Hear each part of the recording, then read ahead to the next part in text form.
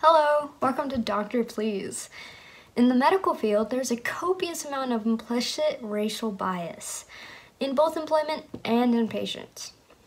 First, though, let's explain what implicit racial bias is. Implicit racial bias are thought processes that happen without even knowing it. They are little mental shortcuts that you may or may not agree with, and some of those shortcuts are sometimes based on race. Some examples include sickle cell anemia and malaria. It is believed that sickle cell and malaria are only black diseases, though that is not true. Being black and having either one of those diseases are not mutually inclusive. There's also implicit racial bias among not only patients, but in the medical field, but doctors as well.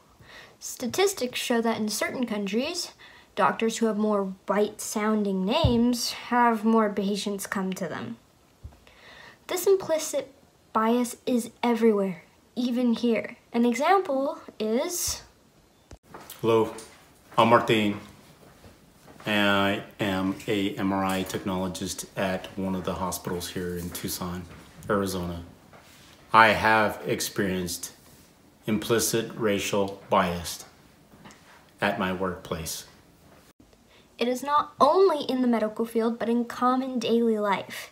Stereotypes of people of color are everywhere. The medical field is just an example, but a powerful one.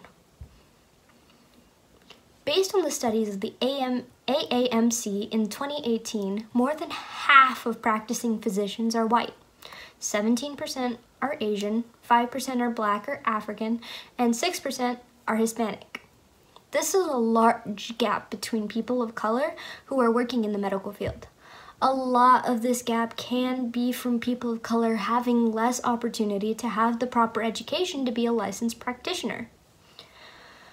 In order to fix this large gap, there has to be more opportunity given to young people of color to allow them into the field. Even with the increase in opportunity, it will be a struggle to get past implicit biases that exist in people's heads because of media and stereotypes ingrained in American society. Thank you so much. That is all we have for today, and I hope this was informative. Thank you. Bye.